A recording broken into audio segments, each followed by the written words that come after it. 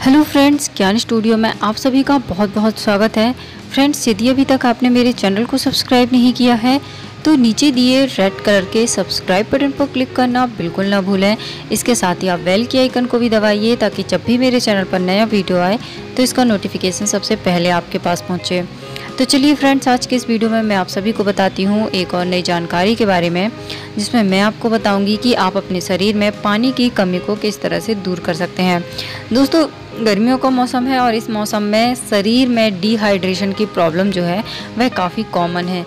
तो आप अपनी बॉडी को हाइड्रेट रखने के लिए खीरे का सेवन करिए। खीरे में पंचानवे प्रतिशत पानी होता है, यह आपके शरीर को डिहाइड्रेशन से बचाता है।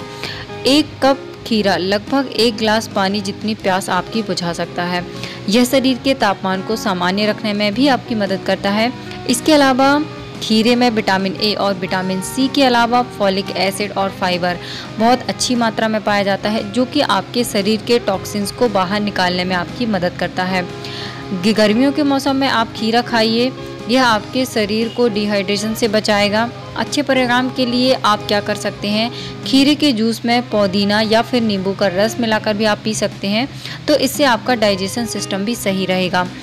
खीरे का सेवन हमें फाइबर, विटामिन सी प्रदान करता है। तो आप इसका सेवन बिल्कुल करिए, यह आपके शरीर को हमेशा हाइड्रेट रखने में मदद करेगा। उम्मीद करती हूँ दोस्तों कि यह छोटी सी जानकारी आपको पसंद आई होगी। यदि यह जानकारी आपको पसंद आई है तो आप इस वीडियो को लाइक कीजिए, साथ ही इस वीडियो को शेयर कीजिए, ताकि और लोगों तक यह वीडियो पहुँच सके।